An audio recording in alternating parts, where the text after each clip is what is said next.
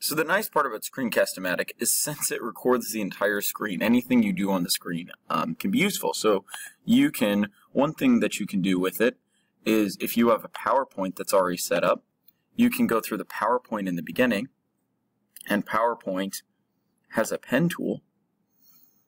Um, so you can talk through some slides and then write on the slides, and so it makes it really nice to be able to do some of that there.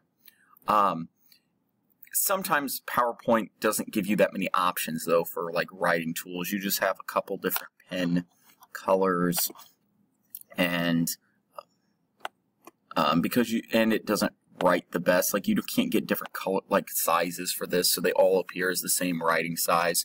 Um, you can highlight, but it it's not always the best thing, and we don't always teach off of PowerPoint anyways. Um, so the next program that I want to talk about is I'm going to skip Snip for a second, and we'll come back to that at the end. I want to talk about this AW app, and it stands for A Web Whiteboard App.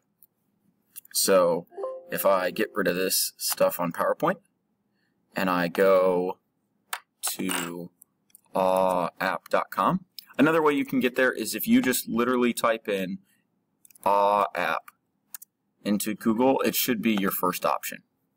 So um, this is what the whiteboard looks like. It's just like a giant whiteboard canvas, and you can kind of draw on this thing, and um, you get a lot of different palette options here at the top. So you get red, green, blue, like all those different colors. Another nice thing that you get is you can control the pen size. So I can make it really, really big and block it so it's easy to read. Or if I want to write like very small and fine. So um, this is this thing is really good for underlining thing um, sentences. So if I have like sentences on here, I can underline it. Um, so most of the time I use for my videos when I'm recording math problems, I use this this font because it's it's probably the best for writing my x squareds plus my two x's or any of the my math stuff that I use. And it really I like this one because it comes out very bright and you have a lot of control over what you write. Now you might be saying to yourself, well, if you can only write stuff on the whiteboard, it, that's not that useful. And that wouldn't be. But there is a lot of different options. So if you click on this, this, this pencil right here on this left-hand side, you'll see all the different options that you get. One option is text. So I can type anything that I want. And you'll notice my text came out super small. And you're like, well, that's kind of too small to read on this thing. You can control your text by this bubble size. So as you can see, like I can start writing bigger things by having a larger bubble. You also in here, if you click on that letter again, you also have an image option. And so I can come in here, and most times what I do is I grab a problem, and then I can put the problem up at the top and talk about underneath it as long as I change back to the pen. So um, it does, the only thing that I don't like is it doesn't make the images. Um, you can't make them very, very big. They still stay kind of small, but if you change the size of your your recording area, it's still not that hard to see. So it still it still works pretty well. So this is one thing that I use is a web whiteboard, and it's pretty useful. Again, you have this hand option to the side, which will allow you to scroll and that can be very useful. So it like this is a constantly expanding space. Once you run out of space, you can keep scrolling down.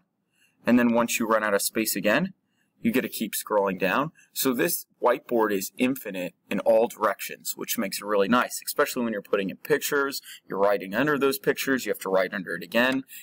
It, it has a lot of um, possibilities for me in math. I don't know about some other subjects, but it, it, it's very useful for me as a writing surface. And using the different colors instantly is really helpful. The other program that I'll kind of show that I use in conjunction with this thing is called Snip. Now, we're going to have to take a second to download Snip, because I'll get rid of this. But this is this is what Snip looks like. It's over it's over here on the top, and it normally stays on the top unless you hit close and get rid of it. If you want to get Snip, um, easiest way to find Snip is go Snip Office. And I know it instantly picked Office Mix for me. But um, if you get Snip Office, the first thing on there is it'll be this program right here. And then you just click download at the top. And it does the exact same thing. So you just download it and install it. Once you install it, you get this thing at the top. It's kind of like the snipping tool that's down here for me.